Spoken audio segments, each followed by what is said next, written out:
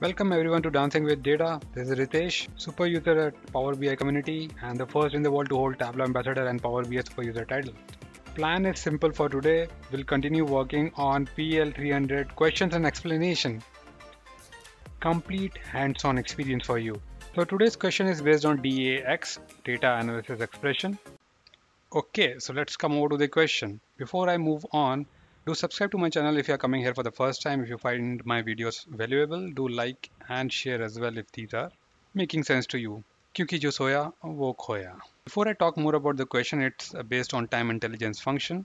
In your PL 300 training path, it has already got a special mention over there.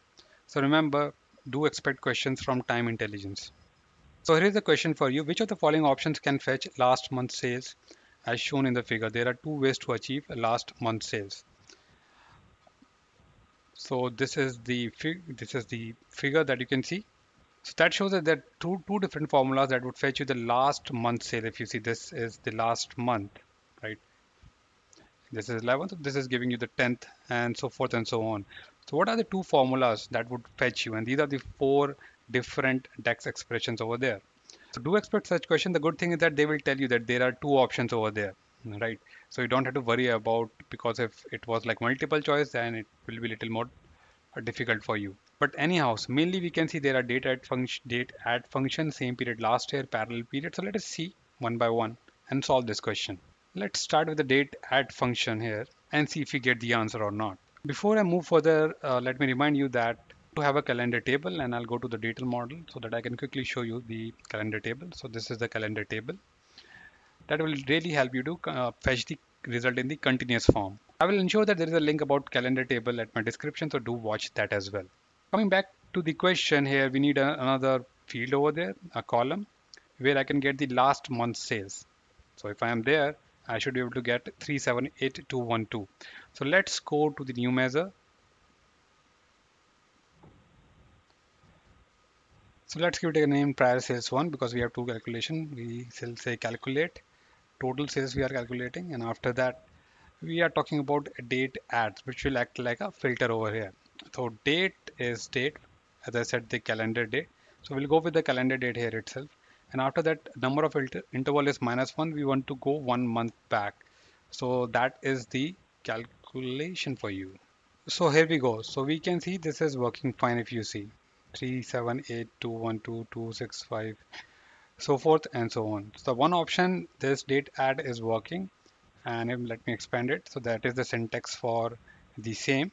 I mean, it's simple. At date add, you'll add uh, minus one and month. So this would be a calendar date, adding minus one to the month. So one option is the first one over there. Okay. What about the second one? Well, this is the second one that is called as parallel period. Looks quite similar to date add but it, it can be different as well that, that, I'll show you. That will be in the second question. So DAX parallel period function returns a table that contain a column of date that represent a period parallel to the dates in the specified date column.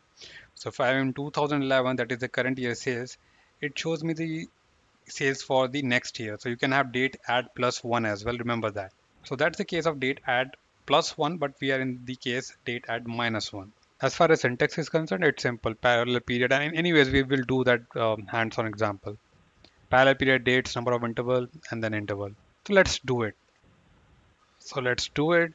Calculation, calculate, same thing, total sales.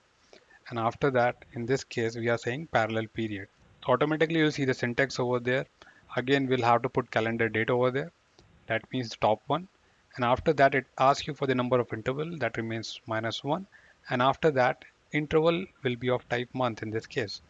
So we are good.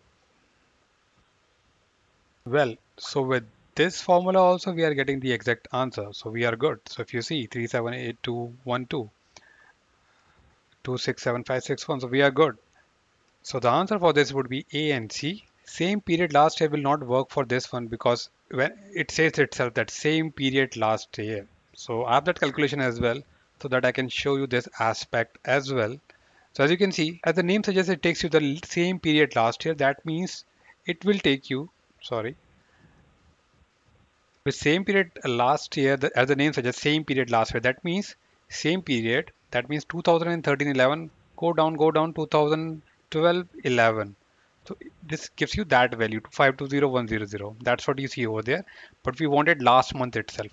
So same period last year is not going to help you. And interestingly, uh, you will see that this date add calendar minus one year will give you the same value as same period last year. Because this will also go to the last year same period will give you the same value. Sometimes your question can can be other way around. So be cautious about the same. I'll leave the last calculation for you to do it yourself. Well, the more interesting part is there in front of you now. Will the values remain same if you remove the month from the view? And analyze for last year sales only? Note that 2013 is the only year with no sales for the month of December. So as you can see over there, there is no December for the year 2013 unlike the other years. Right. So that's that's the one thing that you should notice. We have been asked to analyze at year level. So I have changed my month to year for both the uh, DAX expression over there because we want to analyze with respect to the last year, not month. And the first part says that we need to remove the month from the view. Okay, let's do it. And, and after that, the question is whether you see the same values for both the DAX expression or not. So you have to reply in true and false. Let's first go and try to remove month. Here you go. No, it's not same. So no, it is not same. If you see at the top, this one is different rest of the rows are same but not the top one why is it so in order to understand this let us put month back for a while